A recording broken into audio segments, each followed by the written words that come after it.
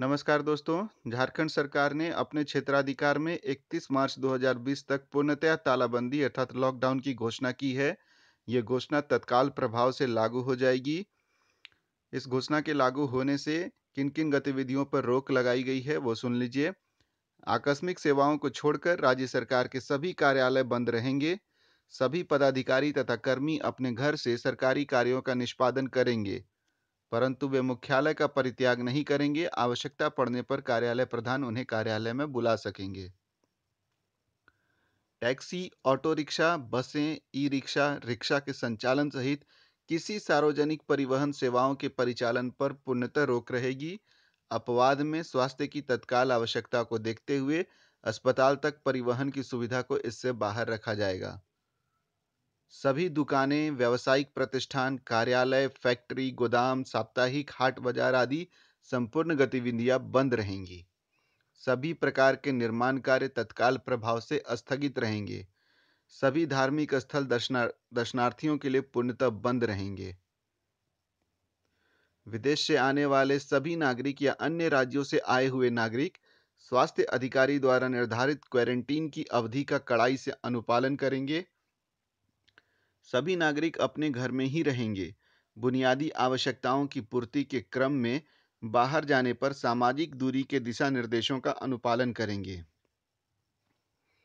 इसके साथ झारखंड सरकार ने पहले ही बाहर राज्यों से आने वाले बसों की सेवाओं को प्रतिबंधित कर दिया था, साथ ही ट्रेनों के आवागमन को भी प्रतिबंधित कर दिया था झारखंड सरकार में।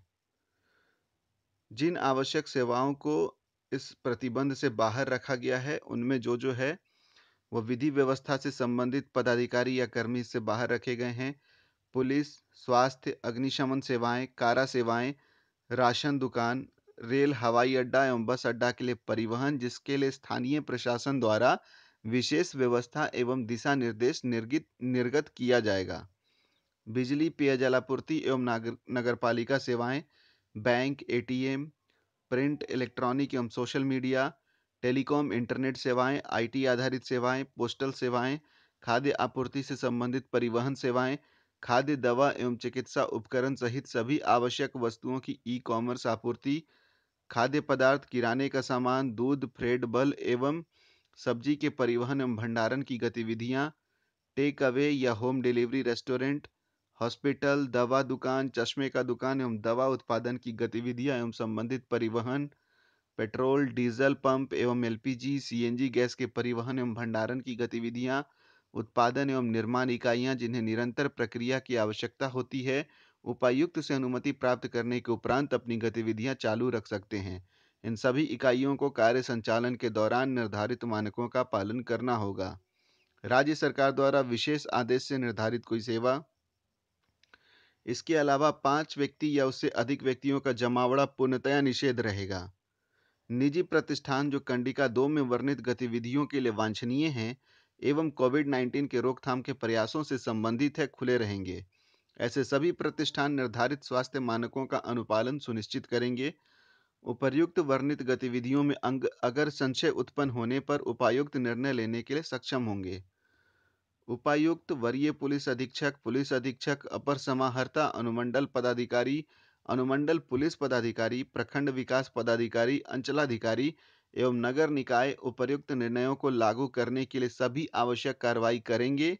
स्थानीय पुलिस आवश्यकता अनुसार अपना पूर्ण सहयोग संबंधित पदाधिकारियों को उपलब्ध कराएँगे। उपर्युक्त निर्णयों के उल्लंघन करने वाले व्यक्ति या प्रतिष्ठान को भारतीय दंड संहिता 1860 के सेक्शन 188 के तहत दंडनीय होंगे। उपर्युक्त निर्णयों, प्रावधानों को लागू करने में किसी तरह की अनिर्णय की स्थिति में राज्य सरकार द्वारा दिशा निर्देश निर्गत किया जाएगा। उपर्युक्त के क्रम में स्वास्थ्य, चिकित्सा, शिक्षा एवं परिवार कल्याण विभाग, झारखंड सरकार द्वारा निर्गत पत्रांक बासठ, तेरह, दिनांक 16 मार्च 2020 में दिए गए निर्देश यथावत रहेंगे। तो ये आदेश है झारखंड सरकार का। झारखंड में पूर्णतः लॉकडाउन की स्थिति आ गई है। इकतीस मार्च तक लॉकडाउन रहेगा। आप सभी सुरक्षित रहें, स्वस्थ रहें, अपने घर में रहें। और हाँ इसके लिए जो डर गया, समझो बच गया, यहाँ बेवजह हिम्मत दिखाने की आवश्यकता नहीं है। डर कर अपने आप को सुरक्षित रखने की आवश्यकता है। धन्यवाद।